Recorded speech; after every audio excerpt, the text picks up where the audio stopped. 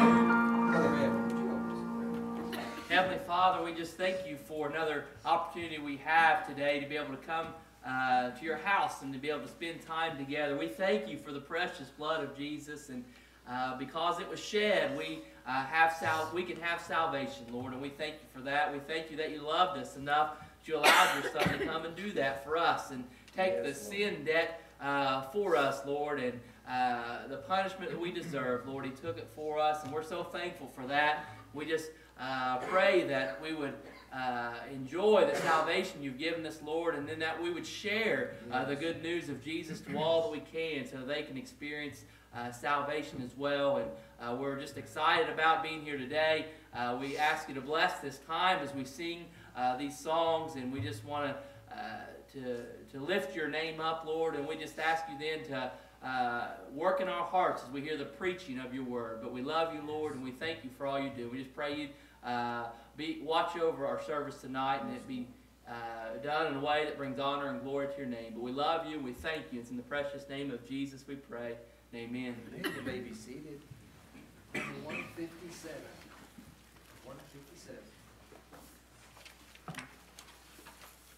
157.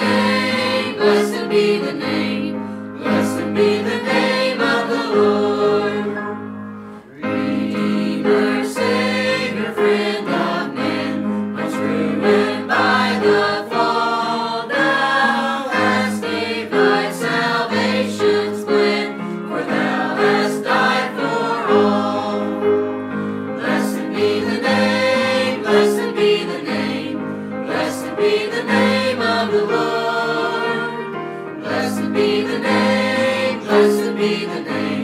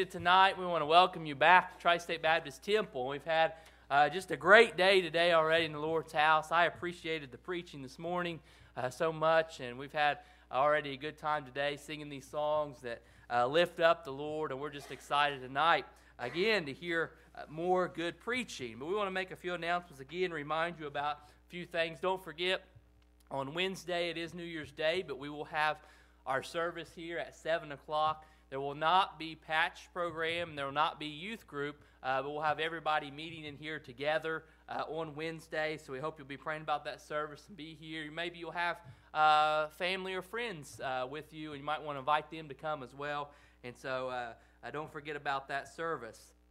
Also, continue to pray for our Kings Court basketball program. Uh, registration is still open, by the way. If you know uh, some children who want to participate and haven't yet signed up, they can still do that at any time. And uh, uh we have registration brochures available. If you need some more, you can see me or, or uh, Drew, and we'll get you the information you need. But we're going to start practicing this coming Saturday and uh, we're looking forward to that. So be praying about the opportunities we'll have to minister to the children as well as their families that will be here uh, through practices and then through the games.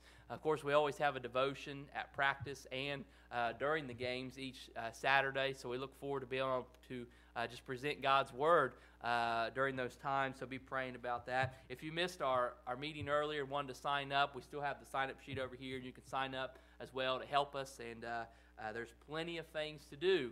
on Saturdays at King's Court, and so anything you, if you'd like to help us, we'll have uh, certainly have a job that you can help us with uh, at King's Court. So don't forget about those things and uh, just uh, look in your bulletin. There might be a few other things uh, to notice as well, but we're just excited about what God's doing. We've had a great year, and we're looking forward now to what God's going to do in the coming year and just continue to work in our church. but at this time, we'll ask our men to come. We'll take up our tithes offering and faith promise this evening.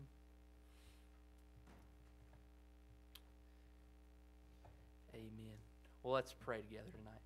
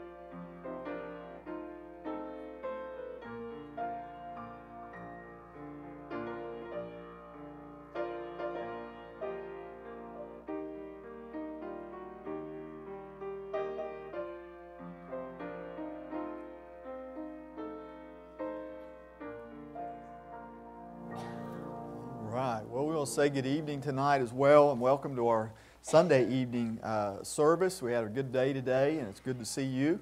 And uh, tonight we're going to receive our change offering. Uh, we're in our last service in the year of 2013. We are in church together again. It'll be a new year, and then we'll be counting down the months to church camp and warm weather and all those kind of things. And so we'll be looking forward to that. Uh, we're working, planking plans, planning now for our camp, and we hope you'll be making time in your schedule for that as well. Uh, we're going to receive our change offering. We just put that aside and let the Lord bless it and multiply it and use it for summer camp, and He always meets those needs. But we need any of our students here that are in elementary school, I need you to come up and help me. So, Elijah, yeah, come on. Yes, come on up here. You guys come right over here. Doug's going to give you a special offering taker up in cup. And uh, just stay right there with that. And we're going to pray. And uh, when we pray, we're going to ask everybody that has an offering just to raise their hand, hold it up. Uh, whoever has their hand raised, just go by them and they give you money. That's a great thing. I wish we could do that every day, everywhere we are, but it doesn't work out that way. Uh, but just bring it back up. Doug will help you get it put in that bank for us, and that'll be a blessing. But we want to pray together and just thank the Lord for the offering and how faithful He is to provide for His work. So let's pray. Father, we are thankful people as we meet again tonight. Thank you, Father, for uh, the day you've given us and for the opportunity we have to come out and worship you. Thank you for the songs that uh, our choir helped us to sing tonight. And Lord, we just ask God you'd bless the offering. I, I pray now for camp this summer. God, provide laborers. Uh, Lord, lay it upon hearts of moms and dads and families to go and be a part of our camp. Uh, to spend that week and be enriched in their own life and to give back to the lives of others. Uh, Lord, we pray that uh, you'll bless and give us a good group of campers and that, Lord, we'll see souls saved and lifelong decisions made for Christ. Uh, we ask you to bless this offering. And uh, Lord, we pray for each one of these young people here tonight. Uh, Lord, if there's one of these young people that haven't trusted you as their Savior, we pray they'll see their need to do that. And uh, Lord, just accept you, receive you, and Lord, live for you and serve you. So we'll thank you for it tonight. In Jesus' name we pray. Amen. All right, if you have some offering, just hold your hand up, and uh, they're going to come by and pick that up.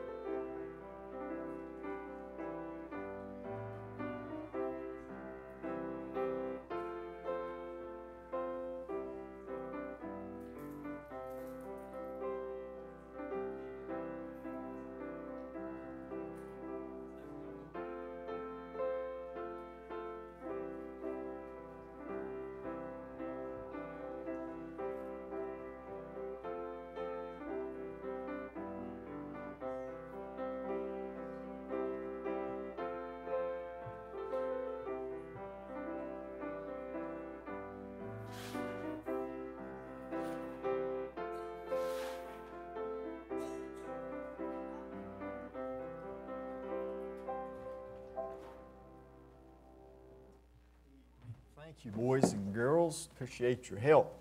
A good job. And uh, we'll have something special for you at camp just because you helped. We'll give you a bed to sleep in.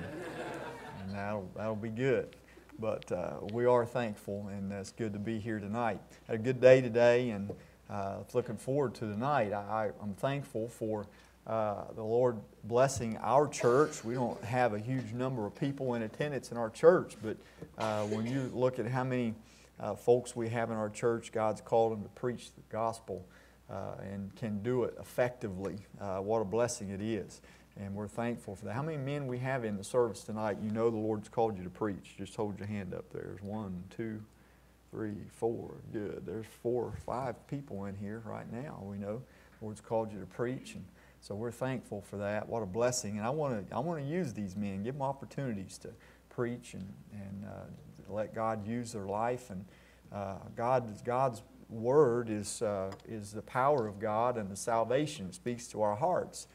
Uh, but God will take His word and uh, the life of the vessel through which He's going to deliver it, and uh, He uses their life, uh, things going on in their life, circumstances and situations to make that word have have a, a, fresh significance every time we hear the Word of God preached. And so I'm thankful for these men and uh, i want to use them. Uh, next Sunday night, Brother Eric's going to preach for me. Uh, Wednesday evening, I'm going to have Brother Marty preach and before he goes back to school. Uh, but uh, we're thankful for these men, appreciate them. And uh, I'm thankful for Brother Doug and appreciate him, pray for him, and just lift him up in prayer. And uh, let's God just keep using him, and we're thankful to have him uh, here ministering in our church and working with the young people and all these kind of things. And uh, we're just blessed uh, and uh, thankful. But we're going to ask him to come, if he will, and just bring the message for us here this evening.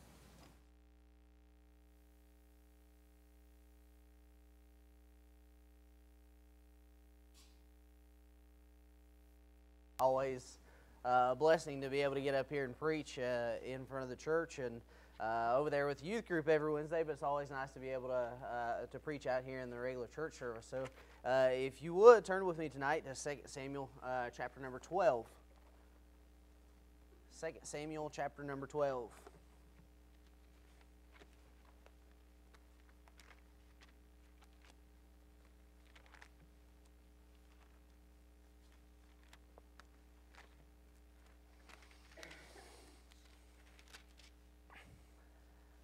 2 Samuel chapter number 12 is a very, uh, it's a familiar passage of Scripture, but I know that I personally haven't heard a whole lot of messages on it, and probably simply because of the, the content of what is in uh, this passage of Scripture, it's a little uncomfortable uh, to read what happens in, uh, in 2 Samuel chapter number 12, but the Lord has really, has, since Pastor uh, asked me to preach tonight, the Lord uh, has just had this specific um, passage of Scripture uh, on my heart. And as I uh, prayed about what the Lord would have me to preach, uh, you know, I, at first uh, I was a little confused as to you know why this particular passage of Scripture. But as I began to study and I began to keep praying about it, I believe that the Lord has shown me uh, why He wants me to preach this message tonight. We're coming down to this being the last service of 2013, and and it's a t- it's one of those times where we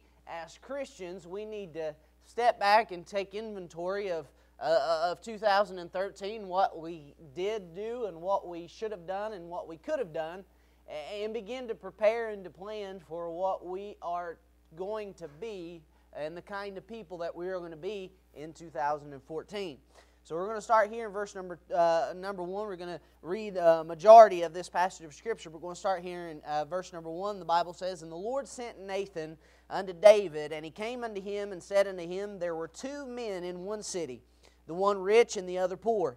The rich man had exceeding many flocks and herds, but the poor man had nothing save one little ewe lamb which he had bought and nourished up, and it grew up together with him and with his children. It did eat of his own meat and drank of his own cup, and lay in his bosom, and was unto him as a daughter. And there came a traveler unto the rich man, and he spared to take of his own flock and of his own herd to dress for the wayfaring man that was coming to him, but took the poor man's lamb and dressed it for the man that was come to him. And David's anger was greatly kindled against the man, and he said to Nathan, As the Lord liveth, the man that hath done this thing shall surely die. And he shall restore the lamb uh, fourfold, because he did this thing, and because he had no pity. And Nathan said to David, Thou art the man. Thus saith the Lord God of Israel I anointed thee king over Israel, and I delivered thee out of the hand of Saul, and I gave thee thy master's house and thy master's wives into thy bosom and gave thee uh, the house of Israel and of Judah. And if that had been too little, I would moreover have given unto thee such and such things. Wherefore hast thou despised the commandment of the Lord to do evil in his sight? Thou hast killed Uriah the Hittite with the sword, and hast taken his wife to be thy wife, and hast slain him with the sword of the children of Ammon. Now therefore the sword shall never depart from thine house, because thou hast despised me, and hast taken the, uh, the wife of Uriah the Hittite to be thy wife.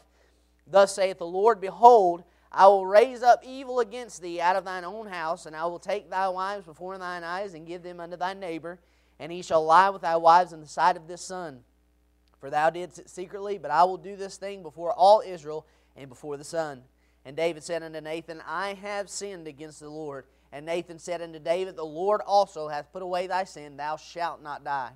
Howbeit, uh, because by this deed thou hast given great occasion to the enemies of the Lord to blaspheme, the child also that is born unto thee shall surely die. And Nathan departed unto his house, and the Lord struck the child that Uriah's wife bare unto David, and it was very sick.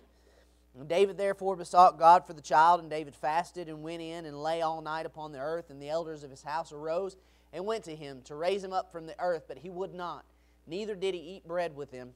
And it came to pass on the seventh day that the child died. And the servants of David feared to tell him that the child was dead, for they said, Behold, while the child was yet alive, uh, we spake unto him, and he would not hearken unto our voice. How will he then vex himself if we tell him that the child is dead? But when David saw that his servants whispered, David perceived that the child was dead. Therefore David said unto his servants, Is the child dead? And they said, He is dead. Then David arose from the earth and washed and anointed himself and changed his apparel and came into the house of the Lord and worshipped. Then he came to his own house, and when he required, they set bread before him, and he did eat. Then said his servants unto him, What thing is this that thou hast done? Thou didst fast and weep for the child while it was alive. But when the child was dead, thou didst rise and eat bread. And he said, While the child was yet alive, I fasted and wept, for I said, Who can tell whether God will be gracious to me, that the child may live? But now he is dead. Wherefore should I fast? Can I bring him back again? I shall go to him, but he shall not return to me. And David comforted Bathsheba, his wife, and went in unto her, and lay with her. And she bare a son, and he called his name Solomon, and the Lord loved him. Let's pray. Dear Heavenly Father, Lord, we thank you for this day. We thank you for your word. We thank you for what uh, you have to say to us tonight. Lord, I pray that you just help me as I speak tonight. Just give me the words you'd have me to say. Uh, Lord, I pray that you'd open hearts tonight, that uh, we might be able to take something from your word and apply it to our lives and will not fail to give you all the praise and honor and glory. In your precious name we pray. Amen. Here in this uh, passage of Scripture, this, uh, like I said, this is a very familiar passage of Scripture. This is uh, right after David uh, had uh, committed one of the biggest sins, and well, two of the biggest sins in his life. Uh, that was adultery with Bathsheba, and he committed the act of murder with Uriah the Hittite.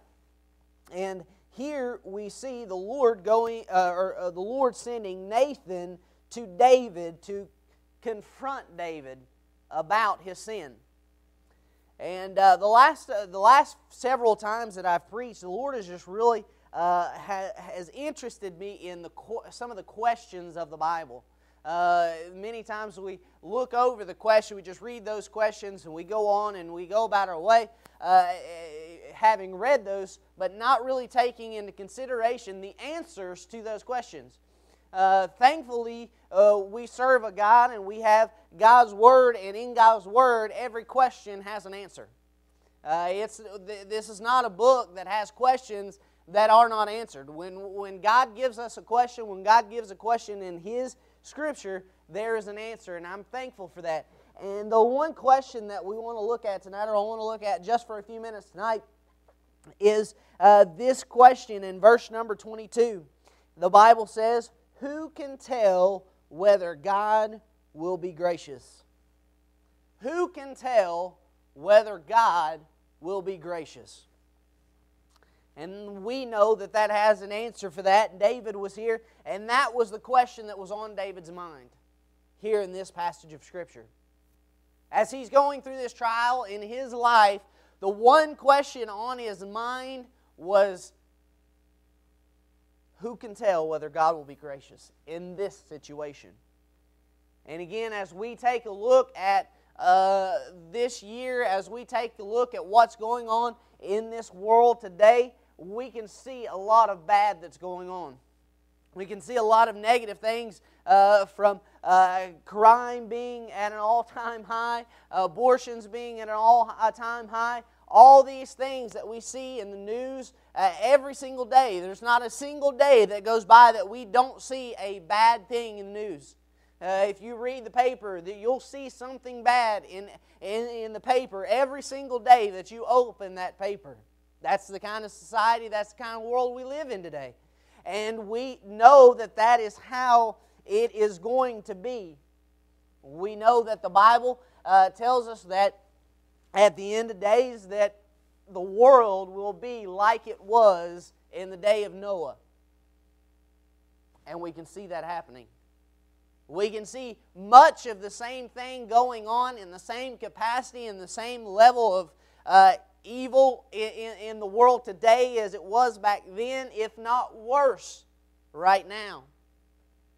All the things that were going on at the time, we see it going on now. The Bible said that everyone was doing what was right in their own eyes. And we see that going on on a daily basis. And my question that I have to ask myself, and I ask myself on a daily basis, and especially as we approach 2014, is in 2014, will God be gracious? In the next coming days, will God be gracious? And as we take a look at this passage of Scripture here tonight, I hope that you'll take in a, a consideration of your own life and what we can do to bring down the grace of God upon our lives, on the lives of those we know, this church, this community, this nation, this world. What can you do specifically to bring about the grace of God in your life? In verse number one, the Bible says, The Lord sent Nathan unto David, and he came unto him and said unto him, There were two men in one city, the one rich and the other poor. The first thing that I want to look at tonight in this passage of Scripture, thinking about this question of who can tell whether God will be gracious, is we want to look at the rich man and the church. The rich man and the church. Here in this passage of Scripture, we see the rich man and we see the poor man. In verse number 2, the Bible says that the rich man had exceeding many flocks and herds. He had a lot of stuff. The rich man had just about anything that he would ever need or ever want or uh, could ever hope to have. The rich man had it. There was nothing that he needed, there was nothing that uh, he wanted. He had it all. And then there was the poor man.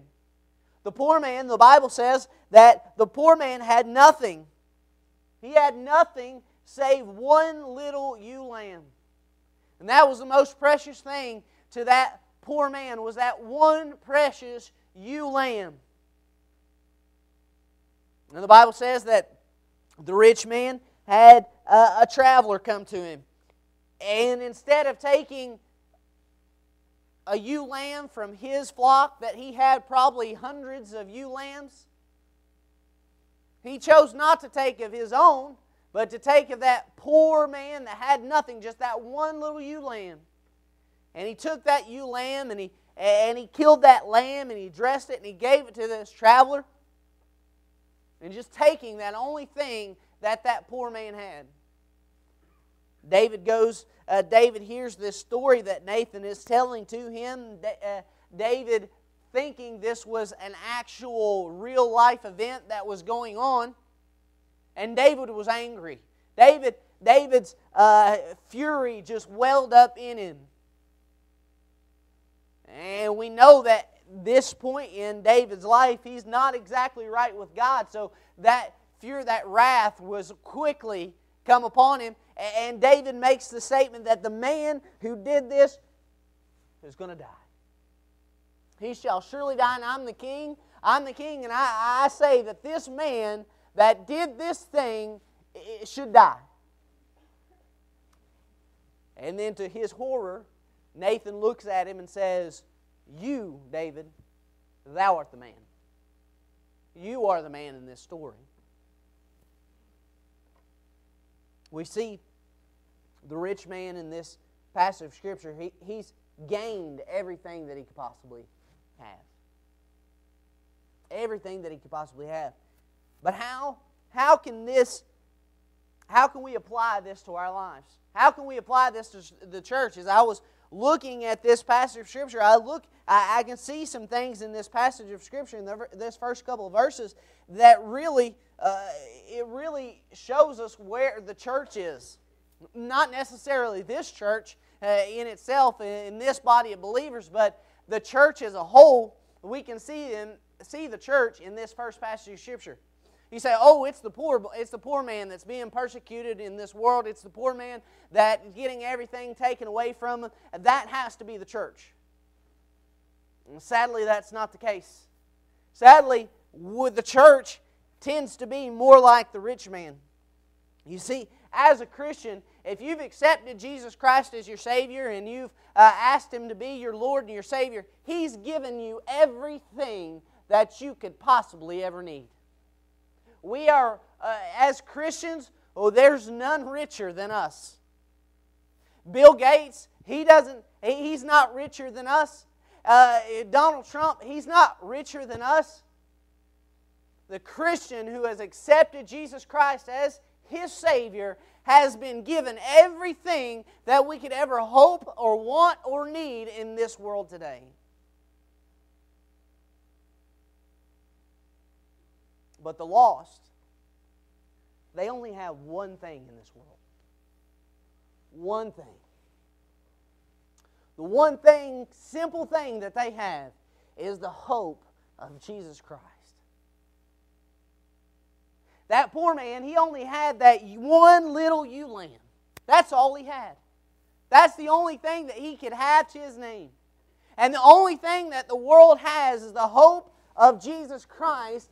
And as a church, we have gained everything as that we can possibly want, but yet we take from the world that one thing that they need Jesus Christ. Instead of being the church who goes to the poor, who, who tells the poor about Jesus Christ, about what he can have, what, what the Lord can do for him, and that the Lord can make him rich, we take the one thing that they have, the hope of Jesus Christ, and we hoard it to ourselves. You say, I don't do that. That's not me. I've never once done that. When's the last time you went on bus visitation? When's the last time that you told somebody about Jesus Christ? When's the last time that you simply took a gospel tract out of your pocket and handed it to somebody that was walking by? That could have been that person that you were walking by could have been wearing the nicest clothes that you've ever seen anybody wear, but could have been the poorest person that you've ever met in your life because they didn't have Jesus Christ as their Savior. Did you hoard the one thing that they have? The hope of Jesus Christ? The hope of eternity? We have it all. We have everything that we need in Jesus Christ, but there's somebody else out there that you're going to run into to tonight, tomorrow, sometime this week that needs Jesus Christ. Are you going to take that one thing that they have, that they need, and keep it for yourself? The sad reality of it all is that most Christians will. Most Christians will go from now until next Sunday and they'll never tell anybody about Jesus Christ. They'll never tell anybody of what God can do for them and how rich that God can make them. Not monetarily, not with money and houses and cars and lands and all that, not with that, but how rich God can make them when He lives in their heart and becomes their Lord and Savior. Most Christians will never tell a single soul about Jesus Christ. I believe it was Pastor Tim not too uh, a couple months ago was talking about how that majority of people will go their entire Christian life without telling one person about Jesus Christ. And if that's how we are, if that's what we are, we're just like that rich man. We're taking the one thing that the world needs and taking it from them. Who can tell whether, the, uh, whether God will be gracious? I believe if we continue to act like the rich man, I don't believe that we'll have the grace of God on our lives, on our families' lives, on the lives of this church, on the lives of this community, on the lives of this nation, or the world. I just don't believe it. The second thing we want to look at tonight is the revelation of David's sin. Nathan tells David uh, this story about this, uh, this uh, rich man and poor man, and though it was a parable, though God was just using it to teach a lesson, to, to, to show David what David was doing, David didn't realize his own sin.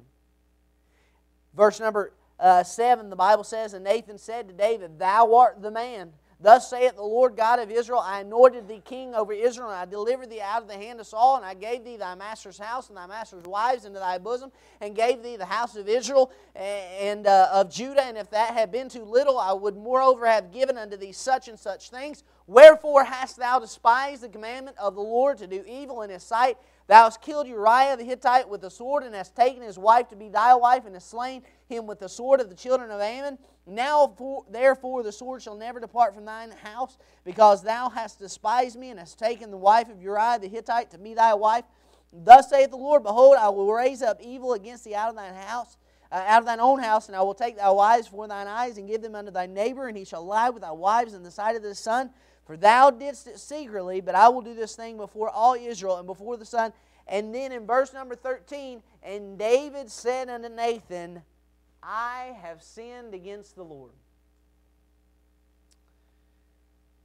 From the time that we see the sin that David commits uh, of uh, lying with Bathsheba until this time in verse number 12, and this has been an extensive time because uh, in the amount of time that we see the sin initially being committed, and here in verse number 13, uh, David has already plotted out a way to kill Uriah. He has put that plan in action. He has sent Uriah to war, put Uriah on the front line of the battle intentionally, told the, told the army to fall back without telling Uriah to do the same. Uh, Uriah is killed the news is given to Bathsheba, and then David takes Bathsheba to be his wife. All in this matter of time. So from where we see him uh, committing the, that first sin there in chapter number 11 until verse number 13 here in chapter number 12, this is an extensive period of time. But in that period of time, not one time do we see David saying, I have sinned. Not one time do we see that David is taking responsibility of the sin in his life. Not one time. But finally, uh, when, when Nathan confronts David and reveals to David, listen, David, though you, you don't see it, you've sinned against God.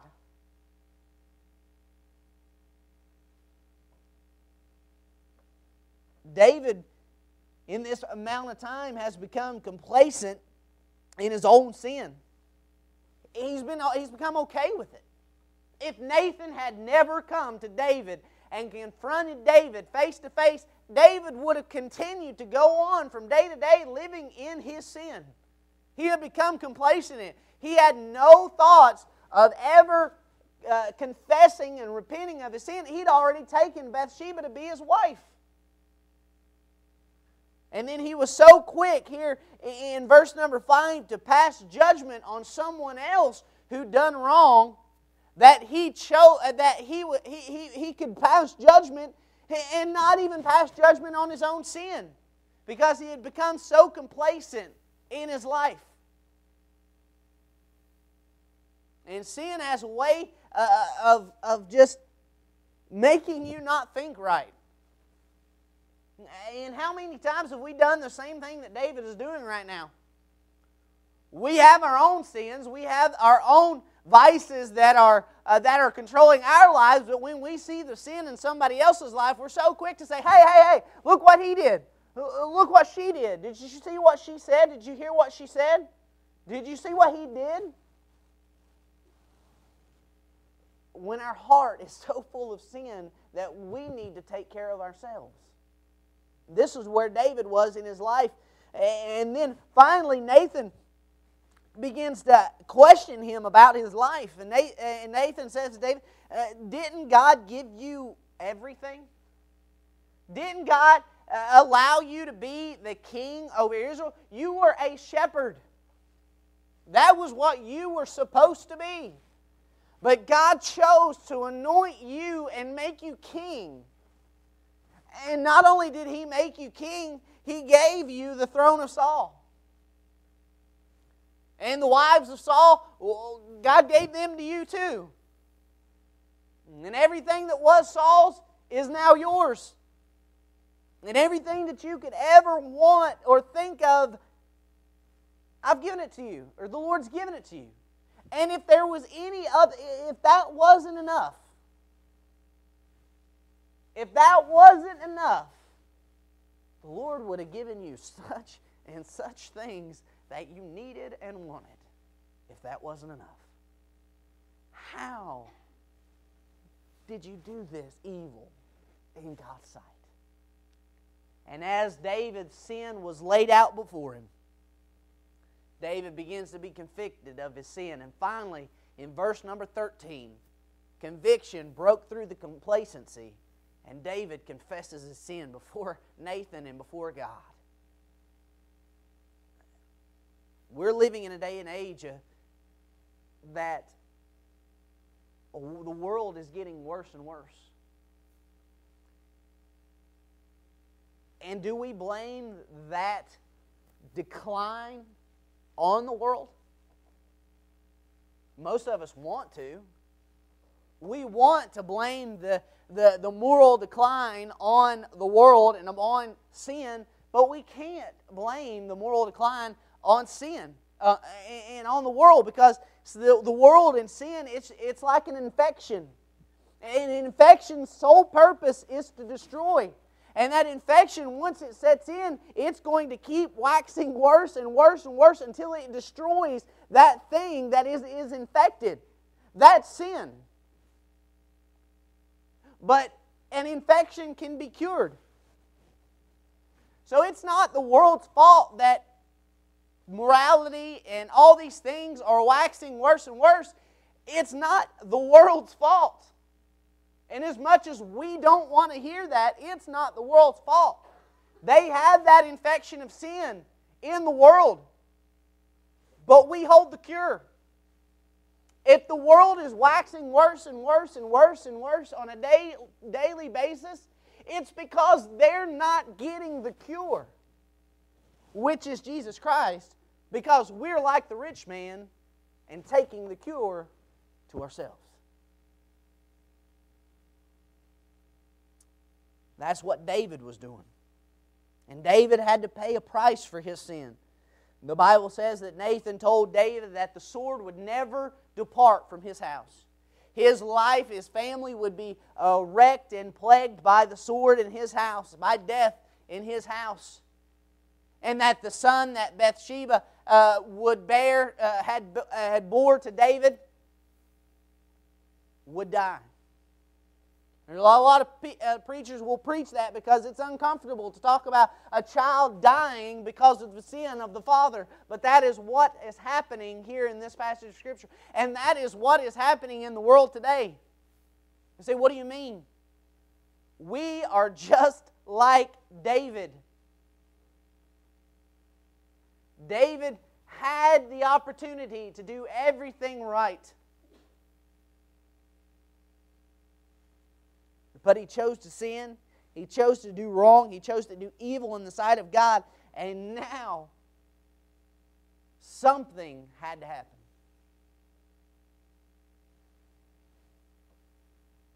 And David finally repents in verse number 13. So we've seen the rich man in the church, we see the revelation of David's sin. And third thing we're going to look at tonight is the repentant actions of David. Here in verse number 13, David, again, we said, finally confesses his sin before the Lord. He says, You know what? I've done wrong. I sinned against the Lord. I committed adultery. I committed murder. That's what happened. I did that. That was me. And, I, and I'm confessing my sin before the Lord. And, and David confesses his sin before the Lord. But then immediately, as David confesses his sin to the Lord, immediately when, when Nathan leaves, Nathan tells him that he's, the Lord will strike the child that uh, Uriah's wife uh, barren to David, and it, it, he was going to strike it sick. And then immediately in verse number 16, the Bible says, David therefore besought God for the child. Nowhere from chapter 11 until verse number thir- uh, until verse number 16 in, in, in chapter number 12 do we see David uh, consulting God or, or, or going and uh, beseeching uh, the things of God. But finally, as he confesses his sin, immediately he commits himself to prayer. And that's the one thing that we should be doing on a day to day basis. Do you want the grace of God on your life? Do you want the grace of God on the lives of others? Are you praying about it? God, David now has to pray. That's all he can do. But he wants the grace of God upon his son. And we see him immediately committing himself to prayer. And as we look at this world today and we see that it is waxing worse and worse because of us, it should, it should convict us to the point where we flood the altars with prayer. Uh, do you want to see a change in the world today? It's going to start on the altars. David commits himself to prayer, but David doesn't just pray like many of us pray uh, today. Uh, you go out to eat, Lord bless His food, amen. You know, that's not the kind of prayer that David prayed. The kind of prayer that David prayed was a fervent outpouring, outcry uh, uh, uh, of love and compassion for his son. We see this by the way that David prayed. The Bible says that David therefore besought God for the child, and David fasted. David took all the luxuries that he had. He was the king. He had, he had all the luxuries of the kingdom, every good food, every good uh, drink, everything that he could want and to, to satisfy himself. He did away with it. He said, until God shows grace on me or my child, I will not eat or drink or do anything except pray until God answers my prayer. And he begins to fast. And not only did he fast, but the Bible says that he went in and he lay all night upon the earth. Uh, he, was, he was prostrate on the earth. And, and when you think about that, it wasn't he wasn't kneeled down on the earth. He wasn't, uh, he wasn't leaning up against an altar like many of us do. He was face first in the ground as low as he could possibly get because he knew that this was his fault, first of all, and he knew that his pride had, had, had, had brought this about, and he wanted to get as humble and low as he could. He wanted to take as much as, of himself out as he could and rely solely and fully on God Himself. The Bible says that he fasted and he, and he, he, he laid himself prostrate out on the ground all night upon the earth. And when, when the elders of his house came in there to, to, to get him to eat and, and, and to get him to drink and, and really uh, just to, uh, to help him, And David wouldn't even let him. David uh, David made them leave. David wouldn't let them help him. He wouldn't eat, he wouldn't drink until it was all over. Because he had finally committed himself to doing what he knew he should have been doing all along.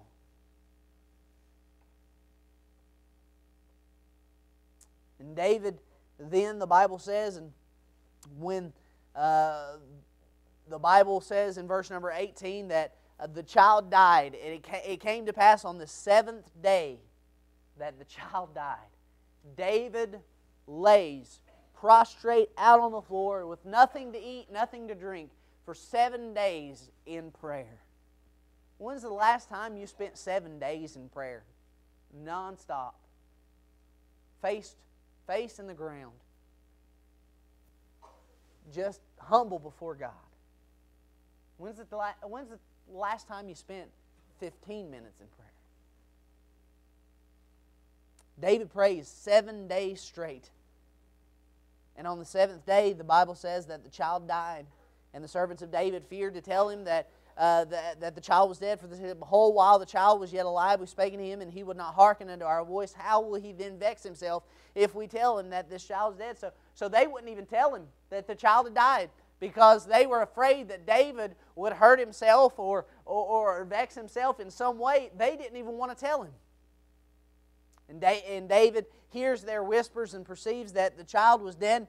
And uh, he asks him, Is the child dead? And they tell him. And then the Bible says that David arose from the earth, he washed and anointed himself, changed his apparel, and came into the house of the Lord and worshiped. See, what, what's the point of that verse in that scripture? it lets us know that David was at a place in his life where he was making a change. He was making a change. He got up he washed himself because he's dirty.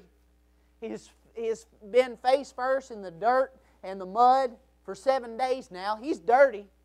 He gets up, he washes himself. He says he anoints himself. In other words, he, he, he, he, he's made a decision that he is going to now, from this point on, live exactly how God wants him to live.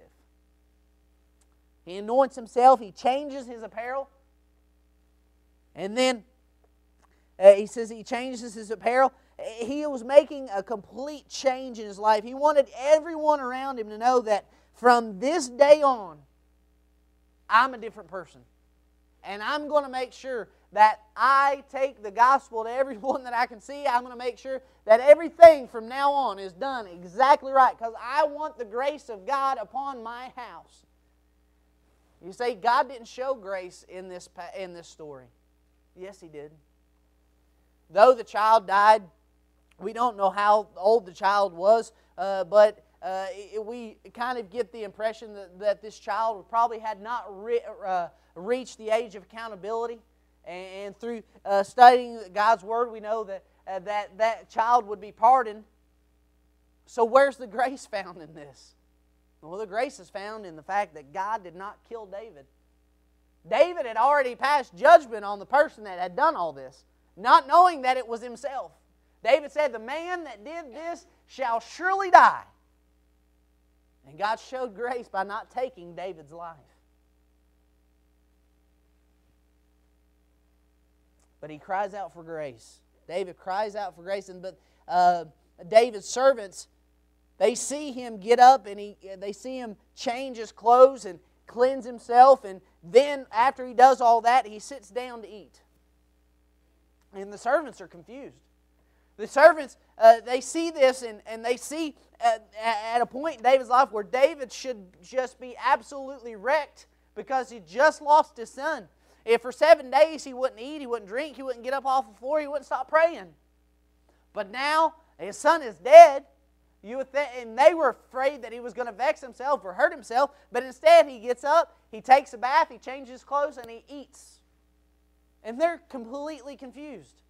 Why would why would he do this? And David answers, uh, uh, answers them, and he says, uh, in verse number 22, he says, And he said, While the child was yet alive, I fasted and wept, for I said, Who can tell whether God will be gracious to me?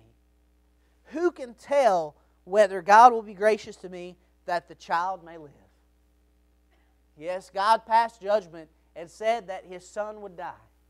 But David did the only thing that he knew to do, and he begged for the grace of God upon his child.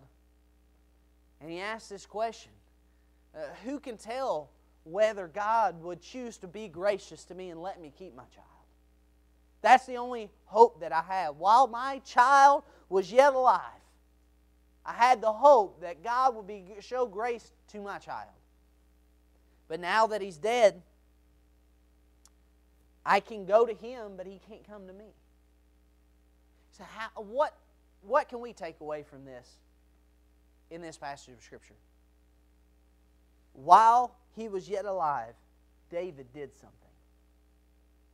There's going to come a point in time where God says enough is enough. He's going to send his son to take us out of here. And the Bible says uh, those who have died will be raised up together to meet uh, Jesus in the air, and then we, then we who are alive and remain shall then be ca- gathered up together with Him. And those are the people that will escape, escape the tribulation. And just like David, while he was yet alive, he cried out for the grace of God upon his son's life. And while we are yet still here, we've got to be doing the same. It's high time that we stop hoarding the things of God for ourselves and get down on our hands and knees, fill the altars with people crying out for the grace of God upon our lives, upon the lives of those around us. That's what David did. Now, in this passage of Scripture, God did not see fit to not take David's son. You say, well, are we doing this all in vain? No. Christ has not yet passed judgment upon us. God hasn't quite yet passed judgment upon this country, on this world. He's not passed judgment yet. And while there's still time, God says, if my people, which are called by my name, will humble themselves and pray, and will turn, uh, will seek my face, and will turn from their wicked ways, then will I hear from heaven and will forgive their sins and will heal their land. That's not a maybe. That's not he might. The Bible says he will. You see, the ending to our story doesn't have to end the same. Though we are living in a time and a situation almost identical to what David is going through here, our end result can be different. But the only way that it will be different is if we fill the altars with people crying out for the grace of God. So I ask the question tonight who can tell if the Lord will be gracious? According to my Bible, the infallible Word of God, I can definitely say yes. In 2014, God will be gracious if we cry out to God for His grace. Let's pray. Dear Heavenly Father, Lord, we thank you for this day. We thank you for everything that's been said and done, Lord. I pray for each and every person that is here tonight. I pray that as as the invitation is played, I pray that uh, just every person here would consider their own lives and consider uh, are we as Christians, are we as a body of believers, are we doing everything that we can to take the gospel to a world that, Lord, you're the, on, they're, they're, you're the only hope that they have? You're that one thing that they have, the, a hope of, that they need, that can do something in their life. You're the only thing. And I pray that this church, I pray that every single person in this church would decide, I'm not going to take from the world what they need, but I'm going to give everything uh, in my power to bringing it to them. Lord, I pray that uh, tonight, as the altars prayed, I pray that just you would convict hearts and that the altars would be filled with people crying out for the grace of God upon this country in this coming year. And Lord, we'll not fail to give you all the praise and honor and glory. In your precious name I pray. Amen.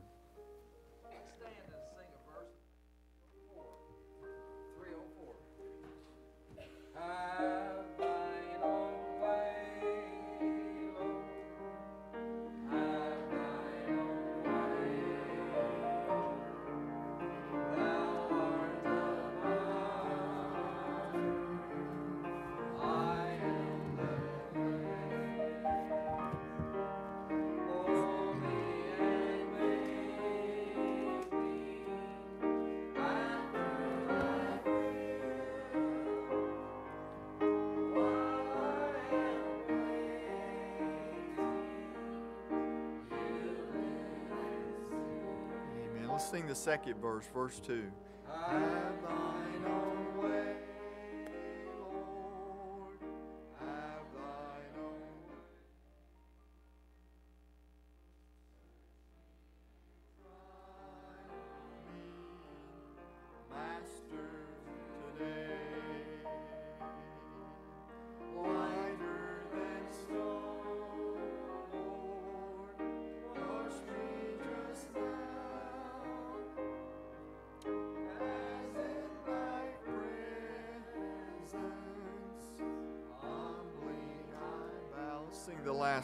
Verse, verse 4.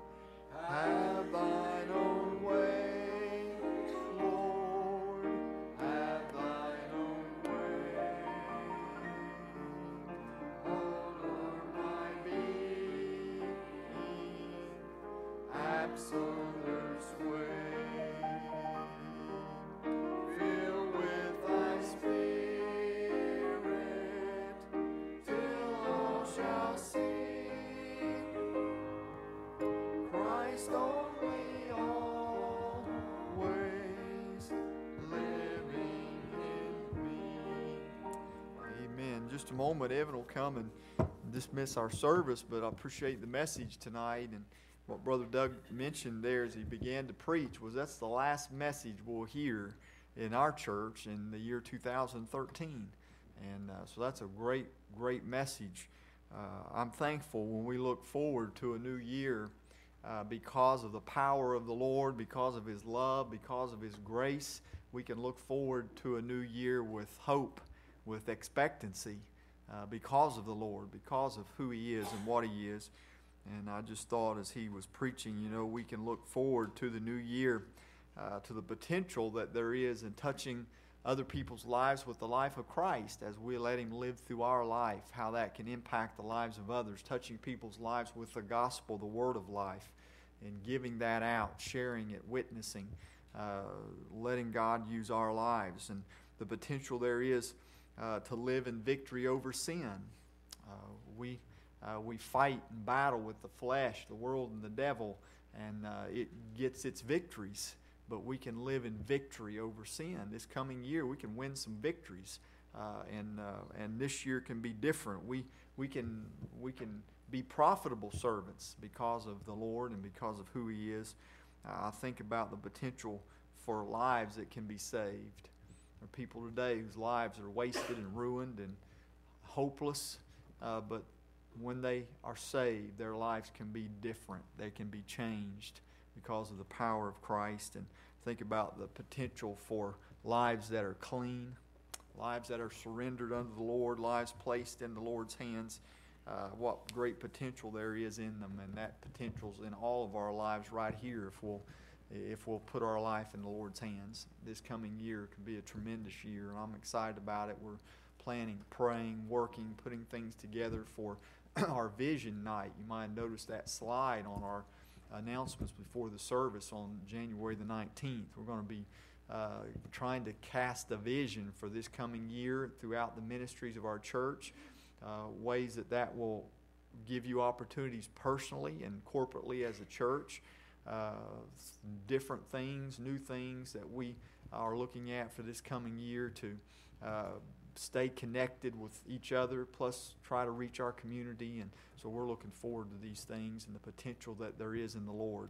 And uh, we're uh, hopeful and expectant about these things. So, uh, good, good message tonight. Brother Evan, you come right ahead and just finish us out here this evening. Amen. Well, it's just been a great day in the Lord's house and just appreciate good Bible preaching. And we look forward to uh, continuing that now on uh, through our coming services. Don't forget about Wednesday. We'll have a service at 7 o'clock, so be praying about that, inviting people, and uh, we look forward to that.